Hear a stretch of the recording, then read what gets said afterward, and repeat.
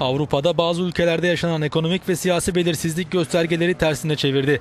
Avrupa Birliği 17 üyeli Avro bölgesi için büyüme tahminlerini 2011 ve 2012 yılları için düşürdü.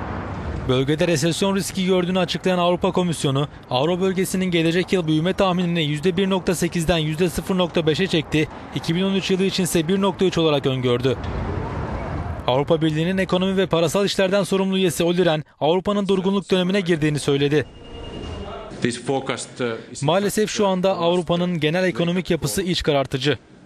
Aslında bununla ilgili tahminimizi geçtiğimiz hafta yapmıştık. Avrupa Birliği'ndeki büyüme şu anda durgunluk dönemine girdi. Kararlı adımlar atmadıkça birlik resesyonun yeni bir aşamasıyla karşı karşıya kalabilir. Komisyonun önceki tahminleri 2011 yılı için %1.6 ve 2012 için %1.8 seviyelerindeydi. Avrupa Komisyonu ayrıca Yunanistan'ın bütçe açığı tahminini bu yıl ve gelecek yıl için yukarı yönde revize etti.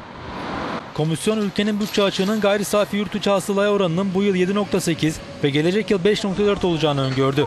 İtalya'nın 2012 yılında durgunluğa gireceği de tahmin ediliyor. Avrupa Komisyonu ayrıca bölgede işsizlik oranının gelecek yıl %9.5'te kalacağını öngördü.